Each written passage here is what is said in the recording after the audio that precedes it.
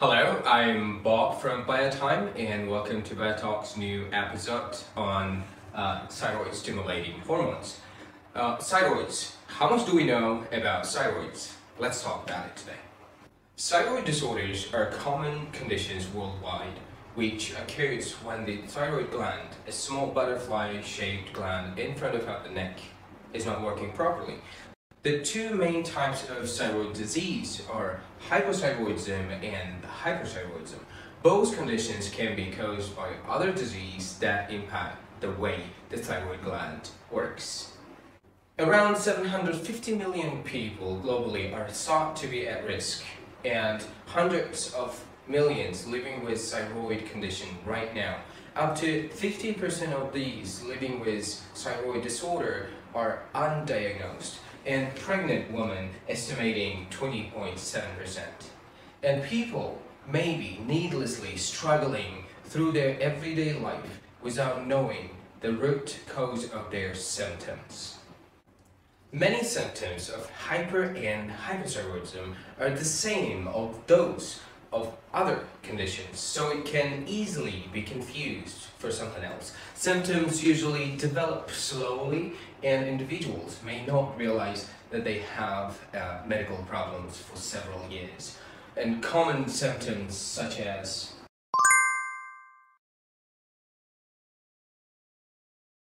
If you have a thyroid problem that is not treated properly, serious health complications can result. Untreated uh, hypothyroidism might lead to a number of health problems such as uh, irregulated heartbeat, food digestion, uh, breathing issues, uh, development of a body, and protein formation, also the cholesterol levels changing. And hyperthyroidism can also cause a range of complications, including thyroid storm, risk of stroke, irregular heartbeat, uh, shortness of breath, and loss of consciousness, uh, as well as weakened bones.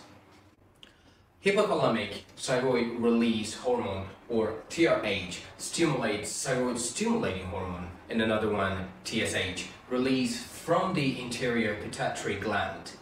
TSH binds the cell surface receptors in the thyroid gland the thyroid responds by secreting T4 and T3 that are transported. Most thyroid disorders require blood test diagnosing with a thyroid function test. Determination of the serum or plasma levels of thyroid stimulating hormone is recognized as an important measurement in the assessment of the thyroid function. It can tell patients if it is hypothyroidism or hyperthyroidism. TSH screens any thyroid disease during pregnancy as well as in newborn babies.